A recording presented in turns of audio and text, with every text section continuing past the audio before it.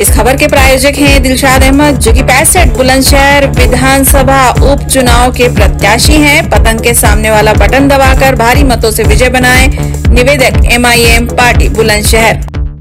लगातार वायरल हो रहे वीडियो, जो कि काफ़ी सच्चाई बताते हैं। थाना खानपुर क्षेत्र के गाँव गिनोरा नगली में दबंग तमंचा लहराते हुए नज़र आए हैं। ये जो झगड़ा हुआ था, शौचालय को लेकर हुआ था कुछ दिन पहले, और भाकी यू के दो गुटों के कार्यकर्ताओं के बीच में ये झगड़ा हुआ था। और इस मामले को लेकर थाना खानपुर में दोनों गुटों के खिलाफ मुकदमा भी पंजीकृत है। दोनों गुटों का झगड़ा इतना बढ़ता गया कि मारने मरने के लिए तैयार है।